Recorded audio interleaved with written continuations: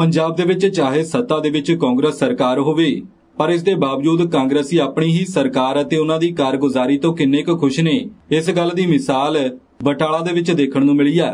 ਜਦੋਂ ਖੁਦ ਕਾਂਗਰਸ ਪਾਰਟੀ ਦੇ ਸਥਾਨਕ ਨੇਤਾ ਸਰਕਾਰ ਦੇ ਸੀਵਰੇਜ ਵਿਭਾਗ ਦੇ ਖਿਲਾਫ ਧਰਨਾ ਪ੍ਰਦਰਸ਼ਨ ਦੇ ਉੱਤੇ ਬੈਠੇ ਦਿਖਾਈ ਦਿੱਤੇ, ਬਟਾਲਾ ਦੇ ਵਿੱਚ ਬਟਾਲਾ ਜਲੰਧਰ ਮੁੱਖ ਮਾਰਗ ਦੇ ਉੱਤੇ ਚੱਕਾ ਜਾਮ ਕਰਕੇ ਪੰਜਾਬ ਸਰਕਾਰ ਦੇ ਸੀਵਰੇਜ ਵਿਭਾਗ ਦੇ ਖਿਲਾਫ ਕਾਂਗਰਸ ਪਾਰਟੀ ਲੀਡਰਾਂ ਦੇ ਵੱਲੋਂ ਧਰਨਾ ਪ੍ਰਦਰਸ਼ਨ ਕੀਤਾ ਗਿਆ ਅਤੇ ਸਰਕਾਰੀ ਅਫਸਰਾਂ ਦੇ ਪੁਤਲੇ ਵੀ ਫੂਕੇ ਗਏ।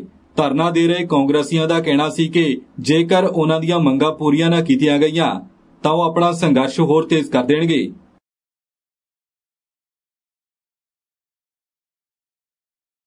ਮੈਂ ਨਰਪਿੰਦਰ ਸਿੰਘ ਬਾਰੇਵਾ, ਇਸ ਟਾਈਮ ਜ਼ਿਲ੍ਹਾ ਕਾਂਗਰਸ ਕਮੇਟੀ ਦਾ ਵਾਈਸ ਪ੍ਰਧਾਨ ਆ ਤੇ ਚਲੋ, ਬਹੁਤ ਵੱਡਾ ਅੱਜ ਇਕੱਠ ਕੀਤਾ ਆਪਾਂ, ਇਸੇ ਕਰਕੇ ਵੀ ਸਾਡਾ ward number 14 Shri Hargobindpur road ਸਾਰਾ ਹੀ ਸੀਵਰੇਜ ਬਲੌਕ ਪਿਆ ਏ। ਕਈ ਗਲੀਆਂ 'ਚ ਪਾਣੀ ਇਕੱਠਾ ਹੋ ਚੁੱਕਿਆ ਏ, ਪਰ ਇਹ ਜਿਹੜੇ ਅਫਸਰ ਇਹਨਾਂ ਕੋਈ ਅਸਰ ਨਹੀਂ ਕੋਈ ਨਹੀਂ ਹੋਣਿਆ ਆਪਾਂ ਕੈਪਟਨ ਸਾਹਿਬ ਨੂੰ ਵੀ ਦੱਸਿਆ ਸੀ ਵੀ ਤੁਸੀਂ ਥੋੜਾ ਹੁਣ ਰਾਜ ਪਾਕ ਰਾਰਾ ਵਾਲਾ ਕੰਮ ਛੱਡ ਕੇ ਥੋੜਾ ਜਿਹਾ ਮੰਤਰੀ ਵਾਲੇ ਪਾਸੇ ਆਓ। ਪਰ ਕੋਈ ਅਸਰ ਹੀ ਕੋਈ ਨਹੀਂ ਹੋਣ ਡਿਆ, ਸਾਰਾ ਜਿੰਨੇ ਅਫਸਰ ਨੇ ਇਹ ਪਿਛਲੇ 10 ਸਾਲਾਂ ਦੇ ਗਿੱਜੇ ਹੋਏ ਨੇ ਕਾਲੀਆਂ ਦੇ, ਕੋਈ ਕਿਸੇ ਦੇ ਆਖੇ ਨਹੀਂ ਲੱਗਣ ਡਿਆ, ਕੋਈ ਕਿਸੇ ਦੀ ਸੁਣਵਾਈ ਨਹੀਂ ਕਰਨ ਡਿਆ। ਇਹਨਾਂ ਦੇ ਸਖਤ ਐਕਸ਼ਨ ਲਿਆ ਜਾਵੇ। ਸਾਨੂੰ ਕਾਂਗਰਸ ਪਾਰਟੀ ਵਿੱਚ ਹੋ ਗਿਆ ਜੇ ਮਜਬੂਰਨ ਧਰਨਾ ਦੇਣਾ ਪੈਣ ਡਿਆ। ਇਹਦਾ ਸਭ ਤੋਂ ਵੱਡਾ ਕਾਰਨ ਹੈ ਕਿ ਪ੍ਰਸ਼ਾਸਨ ਨੂੰ ਕੋਈ ਸਾਡੀ ਹੈਗਾ ਹੀ ਨਹੀਂ ਵੀ ਸਾਡੀ ਸਰਕਾਰ ਹੈਗੀ ਹੈ। ਇਸ ਦਿਨ ਜੇ ਅਸੀਂ ਜਿਹੜਾ ਅਲਟੀਮੇਟ ਦਿੱਤਾ ਸੀ ਅੱਜ ਤੋਂ 4 ਦਿਨ ਪਹਿਲਾਂ ਪ੍ਰੈਸ ਕਾਨਫਰੰਸ ਕਰਕੇ ਕੋਈ ਐਸਡੀਐਮ ਬਟਾਲਾ ਤੇ ਐਕਸੀਅਨ ਸੀਵਰ ਬੋਰਡ ਤੇ ਐਕਸੀਅਨ ਪੀਡਬਲਯੂਡੀ ਰੋਡ ਸਾਰੀ ਟੁੱਟ ਗਈ ਹੋਈ ਹੈ, ਪਿੱਛੇ ਜੀ ਇੱਕ ਹਫਤਾ ਹੋ ਗਿਆ ਏ ਐਕਸੀਡੈਂਟ ਹੋਇਆ ਸੀ ਰੋਡ ਟੁੱਟੀ ਸੀ ਪਾਣੀ ਖਲੋਣ ਕਰਕੇ। ਬੱਸ ਆਈ ਹੈ ਮਗਰੋਂ, ਮੋਟਰਸਾਈਕਲ ਵਾਲਾ ਟਰੱਕ ਆਇਆ ਮਗਰੋਂ, ਮੋਟਰਸਾਈਕਲ ਪੁੱਛਲ ਕੇ ਤੇ ਗਾਂ ਗਿਆ ਵਾ।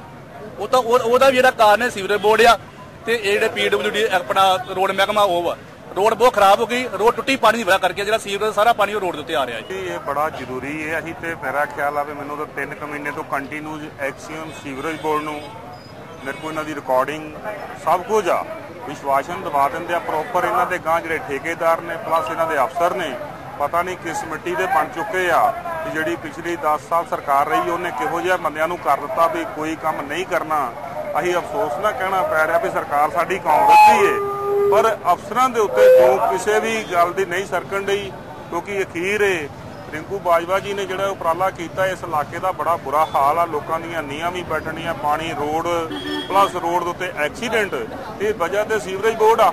ਤੇ ਸੀਵਰੇਜ ਬੋਰਡ ਦਾ ਅਗਰ ਉਹਦੇ ਬਾਵਜੂਦ ਇੱਥੇ ਐਸਡੀਐਮ ਨੂੰ ਐਂਟੀਮੈਂਟ ਦਿੱਤਾ ਗਿਆ ਵਾ, ਤੇ ਐਸਡੀਐਮ ਦਾ ਵੀ ਫਰਜ਼ ਬਣਦਾ। ਐਸਡੀਐਮ ਦੇ ਅੰਡਰ ਸਾਰੇ ਹੀ ਡਿਪਾਰਟਮੈਂਟ ਆ। ਪਰ ਮੇਰਾ ਖਿਆਲ ਹੈ ਵੀ ਇਥੋਂ ਦੀ ਅਫਸਰਸ਼ਾਹੀ ਚੋਰ ਕੁੱਤੀ ਰਲ ਚੁੱਕੀ ਏ। ਕਿਸੇ ਦੇ ਆਖੇ ਵੀ ਕੋਈ ਕੰਮ ਨਹੀਂ ਕਰ ਰਹੀ। ਜੇ ਸਾਡੀ ਇਹਦੀ ਗੱਲ ਕਰੀਏ, ਮੈਂ ਕਿਹੜੇ ਮਹਿਕਮੇ ਦੀ ਗੱਲ ਕਰਾਂ ਵੀ ਅੱਜ ਸਾਡਾ ਠੀਕ ਆ?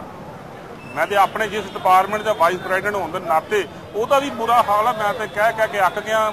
ਹੁਣ ਮੇਰਾ ਖਿਆਲ ਆ ਸੀਵਰੇਜ ਬੋਰਡ ਦਾ ਵੀ ਇਨਕੁਆਇਰੀ ਦੁਬਾਰਾ ਕਰਾਵਾਂਗੇ, ਜਿਹਦੇ ਤੇ ਲੱਖਾਂ ਰੁਪਏ ਠੇਕੇ ਤੇ ਲੈਣ ਦੇ ਬਾਵਜੂਦ ਸ਼ਹਿਰ ਦਾ ਮਾੜਾ ਹਾਲ। ਏਰੀਏ ਦੀ ਕਲੀਨਿੰਗ ਅਸੀਂ ਮਤਲਬ ਰੈਗੂਲਰ ਰੈਗੂਲਰ ਰੁਟੀਨ ਦੇ ਵਿੱਚ ਮਤਲਬ ਲਾ ਕੇ ਬੰਦੇ ਜਿੰਨਾ ਚਿਰ ਤੱਕ ਕਲੀਨ ਨਹੀਂ ਹੁੰਦਾ ਏਰੀਆ ਕਲੀਅਰ ਨਹੀਂ ਹੁੰਦਾ ਉਹਨਾਂ ਚਿਰ ਤੱਕ ਅਸੀਂ ਬੰਦੇ ਇੱਥੇ ਰੱਖਾਂਗੇ।